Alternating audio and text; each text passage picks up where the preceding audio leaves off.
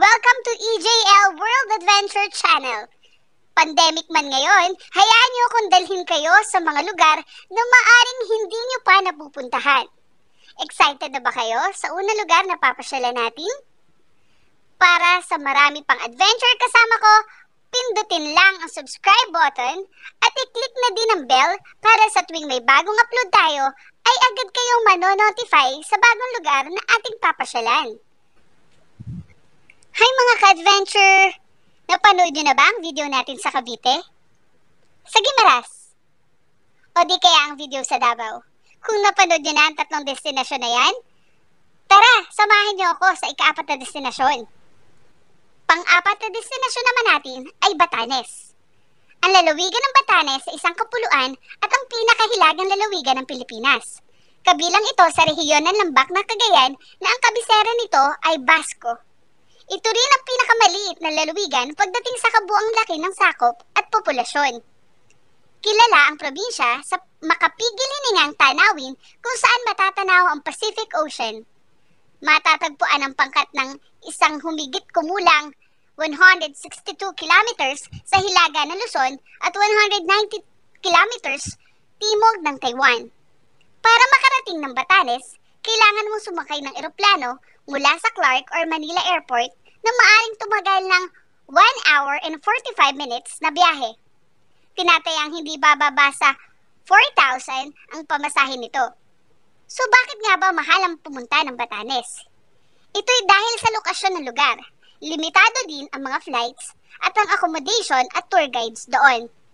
Ang Batanes ay nahahati sa isang distrito, anim na bayan at 29 na barangay.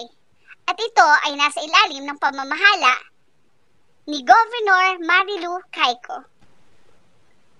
Number 5, Basco Lighthouse.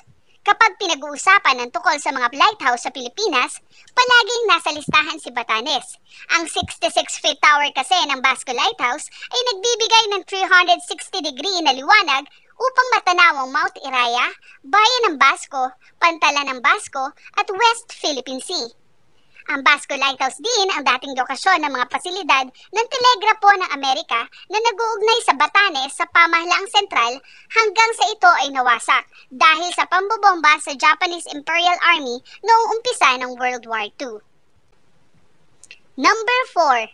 Chawa View Deck Kung nais mong makita ang Batanes sa isang mataas na punto, huwag palampasin ang Chawa View Deck. Ito ay isa sa pinakamataas na lugar sa South Batan Island sa Batanes upang matanaw naman ang West Philippine Sea. Ang ginagawang atraksyon na ito ang isa sa pinakatanyag na lugar na maaring puntahan sa Batanes sapagkat ang paikot na hagdang pababa ay may higit isang daang baitang patungo sa mabatong baybayin na nakaharap sa dagat.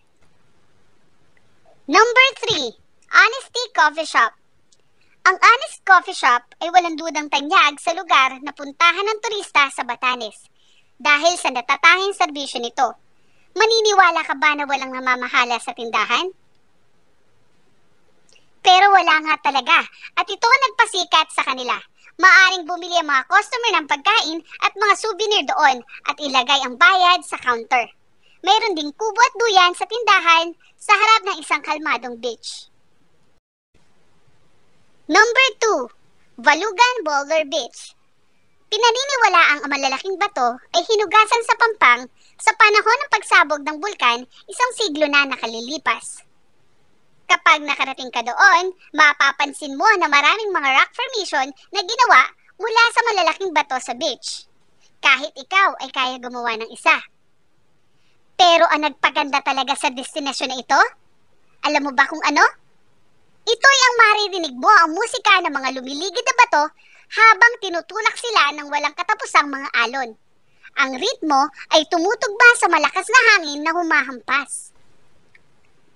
Number 1. Morong Beach Kilalang Batanes sa maraming bagay, ngunit hindi para sa mga puting buhangin ng beach. Gayunpaman, makakahanap ka ng isang tahimik at pantay at malinis na puting beach sa isla ng Sabtang. At ito na nga ang Morong Beach. Tila parang paraiso sa ganda ito at pinakatanyag na lugar upang bisitahin ng Batanes. Hindi, dito masyadong matao at kung suswertehin ka pa nga, posible mo pa itong masolo at ma-enjoy ng gusto. At yan po ang tampok sa top 5 tourist attractions na ipinagmamalaki ng Batanes. Hanggang sa muli mga ka-adventure ha! Please like, share, and subscribe. And don't forget to click the notification bell para updated kayo sa mga lugar na ipapakilala natin. Keep safe everyone! Bye!